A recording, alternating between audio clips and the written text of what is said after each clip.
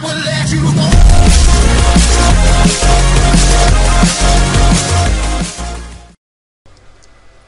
guys, Yanko here, and I'm doing this quick tutorial called Found Cubes. Okay, let's get started. First of all, add a plane. Plane can be random size. Okay, this works for me. Now, add a cube. For me, size of cube will be 50 by 50 by 50. Yeah, a little cube. Now go to MoGraph and add a cloner object. And drag a cube under the cloner object. Yeah, that's good. Now click on cloner object. Uh, mode change to grid array. Now count for me will be know five maybe. Yeah five. Five five five. Yeah that's good. Now size. Change size when you see uh, space between the boxes. Between the cubes. Okay. Wait a second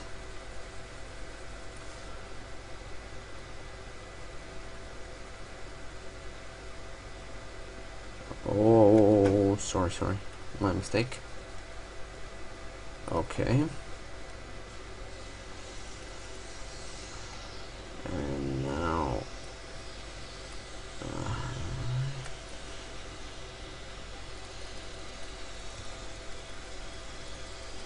uh, okay. That's good.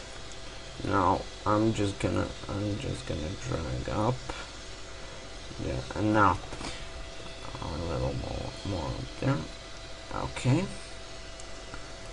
Now go to click on plane then right click MoGraph tags and rigid body.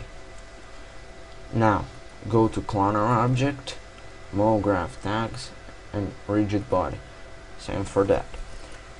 You see that now we have this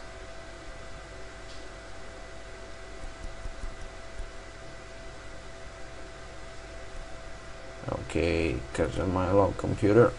You can't see very good. Sorry about that. And as you can see I'm just gonna render it now. You see nice. This is very nice. So I'm just gonna add some materials. Uh, some colors here specular here. Now I'm gonna add a reflection to 15 okay that's good. Now I'm gonna add this to to the cubes. I'm gonna uh, do a black a little dark gray color for 120 reflection okay I'm gonna add this on the plane.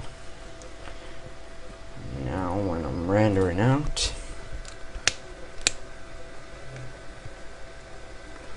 as you can see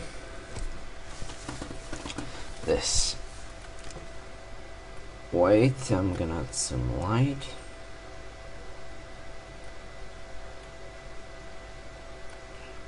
Okay let's render it now okay this is it. This is falling cube. This was one falling cube tutorial. Hope you like it and thanks for watching. See ya